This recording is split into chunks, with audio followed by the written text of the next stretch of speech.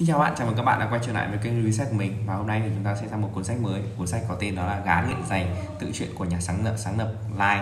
Ờ, và cuốn sách này thì của tác giả Finn Klein, ông là người sáng lập Lai và là người lãnh đạo có tầm ảnh hưởng nhất thế giới. Bởi vì ông đã sáng tạo ra công ty ờ, Clyde và ông là CEO từ năm ông là CEO của Clyde từ năm 1964 đến năm 2004 và đến nay thì ông vẫn giữ chức vụ đó là chủ tịch hội đồng quản trị của công ty giày Nike. À, và bây giờ chúng ta sẽ đến với phần review ngày hôm nay. Trong buổi review ngày hôm nay thì chúng ta sẽ đọc 100 trang sách này. À, sau đó thì chúng ta sẽ uh, review một chút về nội dung 100 trang sách. Còn một cái phần thứ hai nữa của video là chính là chúng ta sẽ rút ra một số những cái chiến lược uh, có trong 100 trang sách này. Có thể là chiến lược kinh doanh chiến lược marketing chiến lược tài chính chiến lược gì đó. Chúng ta cứ nếu chúng ta gặp thì chúng ta sẽ rút ra. Ờ, và cái phần tiếp theo nữa đó chính là sau 100 trang sách thì chúng ta sẽ có những bài học có thể đã áp dụng vào trong công việc cuộc sống của ta. Và bây giờ thì chúng ta sẽ đến với ờ, phần 1 của video đó chính là nội dung 100 trang sách nhé. Và mình phải nói một chút về nội dung 100 trang sách. Thì uh, cuốn sách này thì được chia thành uh, 3 phần và nó không có chương các bạn ạ. Nó rất là hay ở chỗ đây là một cuốn tự truyện của tác giả Phil Gly cũng là uh, CEO của công ty giày Nike thì ông đã chia theo các năm mà ông đã trải qua. Ví dụ như là phần đầu tiên của cuốn sách ví dụ năm 1962 1962 thì tôi kể về những cái uh, cái những cái ý tưởng kinh doanh của tác giả này những cái dấu của tác giả trong cái khoảng thời gian ông kể về lúc nhỏ ông như thế nào này. Và đấy là một cách mình thấy đây là một cách khá là đặc biệt đặc biệt rất rất là đặc biệt so với những cuốn sách mình đã từng đọc rồi. Và bây giờ thì chúng ta sẽ đến với nội dung của của một trong các sách đầu tiên. 100 trang sách đầu tiên sẽ kể về từ năm 1962 đến năm 1964 à, 65 của tác giả. Và nội dung nó sẽ bắt đầu từ năm 1962 1962 của tác giả trôi qua đó là ông nội dung ông kể về những cái ý tưởng kinh doanh của mình này những cái um, mục tiêu của ông. Và ông nói với cha rằng là ông muốn đi vòng quanh thế giới để uh, tìm kiếm những cái điều gì đó khác biệt và để định hình cho bản thân của ông và ông tìm kiếm cái gì đó thật ý nghĩa tìm kiếm ra những cái ý tưởng kinh doanh. Và trên hết là ông muốn đến Nhật thì bởi vì ông có một cái ý tưởng kinh doanh rất là điên rồ và lúc này muốn đi thì ông cần phải nói chuyện với cha mình bởi vì ông cần có sự hỗ trợ của cha mình đó là về mặt tài chính. Và rất là may mắn khi cha của ông đã ủng hộ chuyến đi này. Nhưng mà um, chuyến đi này không phải là không khó khăn các bạn ạ bởi vì thời điểm năm 1962 thì 90% người Mỹ chưa một lần đi máy bay. Và ngoài cái vấn đề tiền bạc thì còn một cái vấn đề nữa đó chính là 26 trên 27 công ty mà khởi nghiệp thì phải đón nhận thất bại vào khoảng thời gian năm đó. Và đó là một cái ý tưởng mà ý tưởng mà tác giả đề cập đến có ý tưởng thực sự điên rồ mà như cha mẹ tác giả đã nhận định. À, và cuối cùng thì ông đã khởi hành vào ngày 7 tháng 9 năm 1962 ông và một người bạn thân của mình tên là Carter ông đã di chuyển trên chiếc xe và ông bắt đầu đi ông bắt đầu di chuyển ờ, đến những cái vùng đất mà uh, ông muốn đến ở trên nước Mỹ đã. Và đầu tiên thì ông đã dừng chân tại một nơi đầu tiên ông dừng chân đó chính là uh, Honolulu. Uh, Honolulu là một cái bãi biển và đến đây thì ông đã ông rất là đam mê môn lướt sóng và để có thể thỏa mãn đam mê đó thì ông phải vừa làm việc trong một công ty môi giới chứng khoán và có thể thỏa niềm đam mê lướt sóng của mình. Và thực tế thì uh, ông có chuyên môn khá là tốt về trong cái phần môi giới chứng khoán nên ông kiếm được một số tiền có thể đủ gọi là uh, chắc tiền phòng này và có thể là thỏa mãn đam mê của mình nhưng mà ông vẫn còn một cái ý tưởng ý tưởng thực sự cháy bỏng trong con người ông đó chính là uh, ông muốn đến Nhật và kinh doanh với người Nhật. À cuối cùng ông thực hiện chuyến đi đến Nhật thật. Và trên chuyến đi đến Nhật thì ông cũng uh, bởi vì Nhật và Mỹ vừa mới kết thúc mà chiến tranh thế giới thứ hai nên là sẽ có các khá là nhiều cái uh, xung đột um, cũng như là cái cái um, hậu quả còn lại của chiến tranh.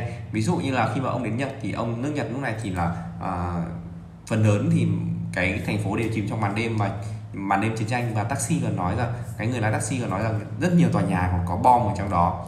Và người tài xế thì uh, đã chở đã đến một cái khách sạn thì khá là tồi tàn. Và đến đây thì ông đã gặp một số ông được uh, đón tiếp bởi một số những người mà um, quen với người cha ông. Và ở đấy rất là may mắn thì có hai cựu binh Mỹ đang làm việc tại một tòa soạn báo. Và ông đã cho một vài lời khuyên khi làm ăn với những người Nhật.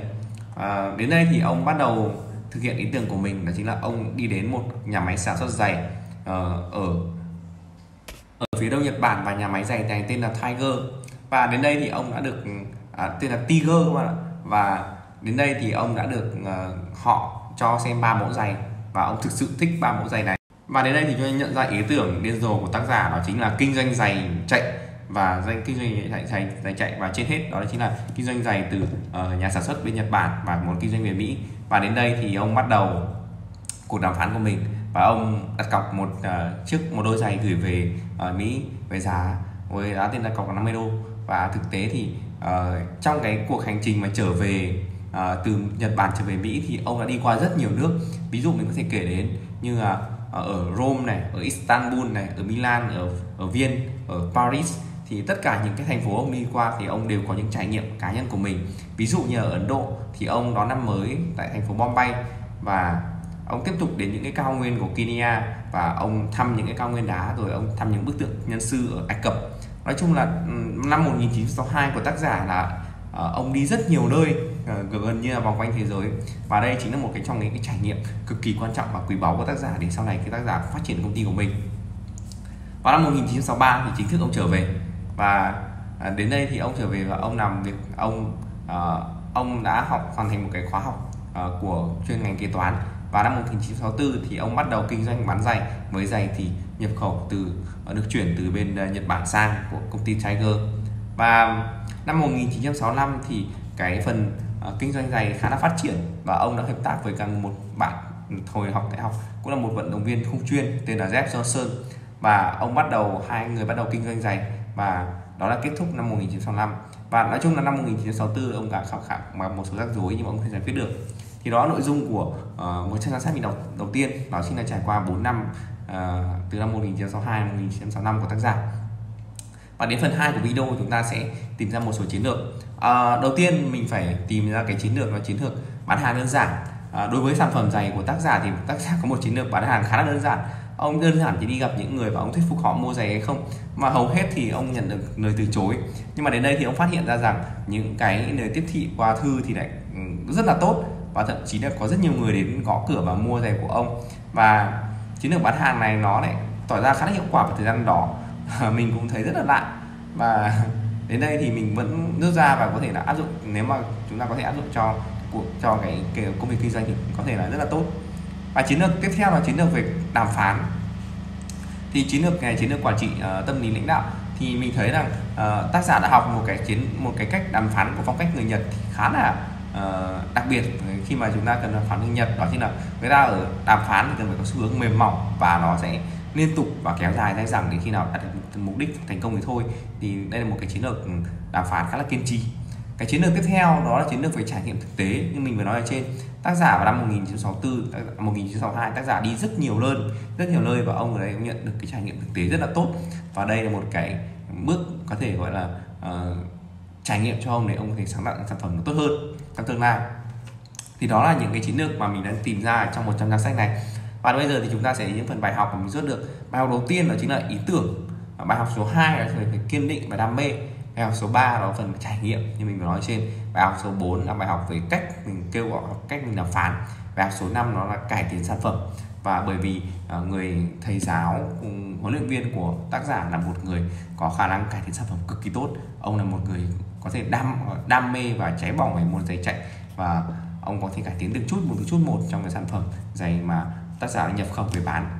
Thì trên đây là phần review của mình về cuốn sách đã nghiện giày ờ, tự truyện của nhà sáng lập Nike. Ờ, cảm ơn các bạn đã nghe phần review của mình và chúng ta sẽ tiếp tục cuốn sách này vào video ngày mai. Và một trăm trang sách tiếp theo. Và cuốn sách này uh, sẽ là cuốn sách mình sẽ đọc trong ờ, uh, 5 ngày tới. Hy vọng là các bạn hãy đón những đón xem những video của mình nhé. Cảm ơn các bạn đã hẹn gặp lại các bạn ở video tiếp theo. Xin chào.